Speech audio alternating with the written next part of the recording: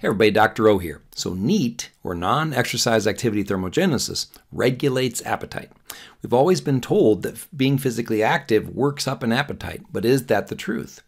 Did you know that moving more can actually help you eat less? So let's go ahead and take a look. All right, so what can a 1956 study of 213 jute mill workers in Bengal tell us about our appetite today? Well, let's let's take a look at it. This is the most famous study ever done on the relationship between physical activity and appetite. So it's from 1956. The relation between caloric intake, body weight, and physical work. Studies in an industrial male population in West Bengal. All right, so let's look at this chart here and then I'll kind of talk about it a little bit. So you see we have at the bottom, we have the type of work from sedentary to light work, medium, heavy, and very heavy work. And then on the side, we have the number of calories they were taking in a day. And you see that as you transition from the middle towards the left, it says becoming sedentary does not downregulate food intake. So moving less does not cause you to eat less. Uh, going to the right, though, increasing physical activity improves satiety signaling. So notice that as you increase your physical activity, they are consuming more calories, but they're consuming the appropriate number of calories. That's why it's called the regulated zone. Their calorie intake is linked to their calorie expenditure. On the left-hand side, it's called the non-regulated zone because they're eating way more than their body needs. All right, so what does this all mean? A sedentary life appears to disconnect our satiety signals and our hunger signals from our movement. So, satiety is the absence of hunger, the feeling of fullness. So basically, you're going to be hungry when you really don't need food. You're going, you're not going to feel full, even though you've eaten eaten enough food for your movement. So it disconnects our physical activity from our hunger and fullness or satiety signals.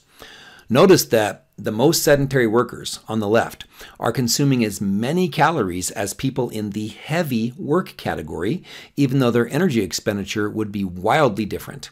The people in the heavy work category are eating what they need to maintain their weight.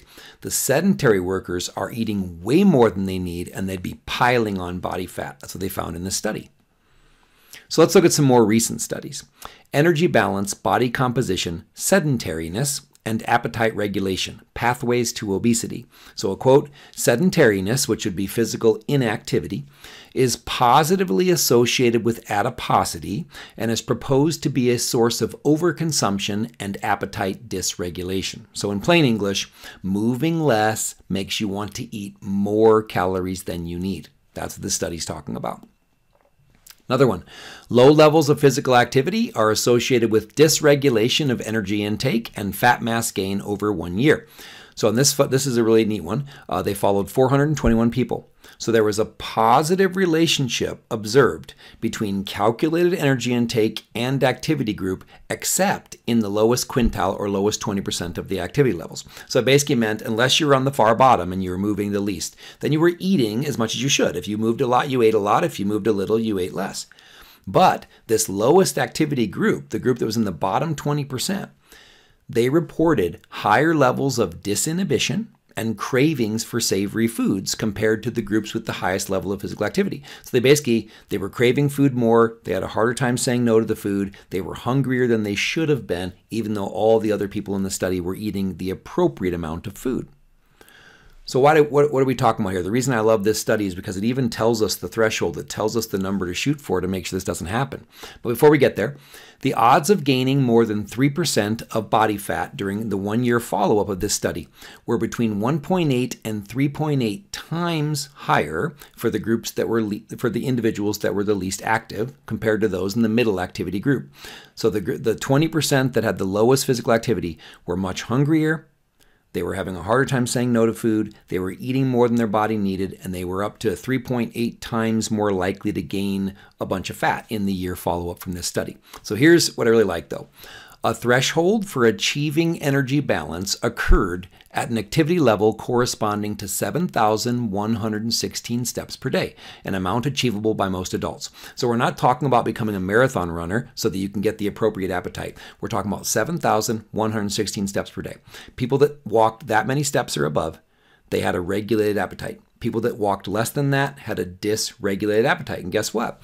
A lot of typical Americans are walking between four and 6,000 steps. We're not hitting that number. So, what this study found is that an adequate level of movement and activity appears to strengthen the connection between our food intake and our physical activities. It regulates our appetite.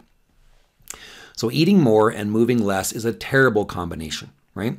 Sedentary behavior is causing the obesity epidemic on both ends of the calories in, calories out equation now, right? We're burning less calories because we're, we're sedentary, and we have an increased appetite because we're sedentary. That's a terrible combination. It made me think of just this kind of funny quote from Robert Quillen.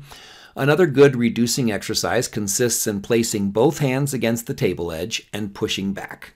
So, all right, what are our key takeaways here? A lack of physical activity actually increases our appetite and leads to overeating. And moving more will help you lose weight by burning more calories while eating less. That's a win win. Right? So NEAT does let you eat more. We learned that with the Amish and, and other people. So NEAT does allow you to eat more, but it can also lead to you wanting to eat less as your appetite gets regulated over time. I, I've definitely found that myself. So walking and increasing your NEAT don't spark hunger the same way that more intense forms of exercise do as well. All right, so what are our action steps here? For now, aim for at least 7,000 steps per day to help regulate your appetite. I'm going to ask you to try to get to a higher step count than that, but even getting for, you know, 7,000 or slightly above can start to help you regulate your activity as you get more physically fit there. All right, so in the next video, we're going to talk about the more about the importance of walking and how, and how it can hopefully you can walk away from an early grave and have a long, healthy life. All right, I hope this helped. Have a wonderful day. Be blessed.